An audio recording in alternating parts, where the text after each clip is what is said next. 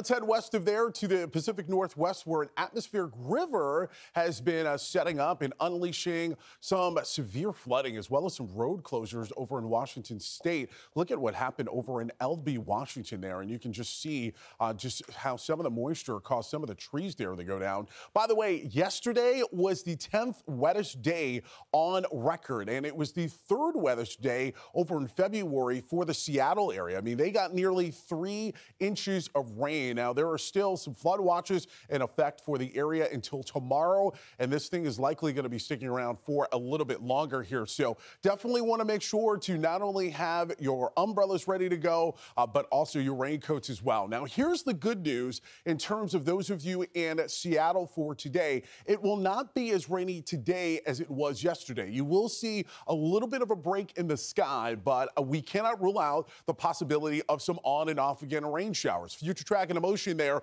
you start to see some of those greens popping up and then disappearing. And then those of you in Portland as well as Medford over in Oregon will continue to see some on and off again rain showers. Some of these will be moderate at times. You see some of that yellow there popping up. The closer you are to the coastline over in Oregon, more likely that you will end up seeing some of these rain showers. Northern Idaho, also into Missoula, will end up seeing some of the rain showers. Now, because we are seeing some rain showers throughout the day, not only today, but also tomorrow as well, you got to remember we still have a lot of snow, especially in some of the Cascades and over in the Olympic area. So that is going to lead to the potential for either some avalanches or some flooding in some parts of the Pacific Northwest. So how much rain are we talking about through uh, the next couple of days? Well, it really is going to be dependent on where you are. We could see an additional one to two inches of not only some rain, but we could also see one to two inches of some snow. Higher elevations will likely end up seeing a few more inches of some snow. But bottom line, Stephen,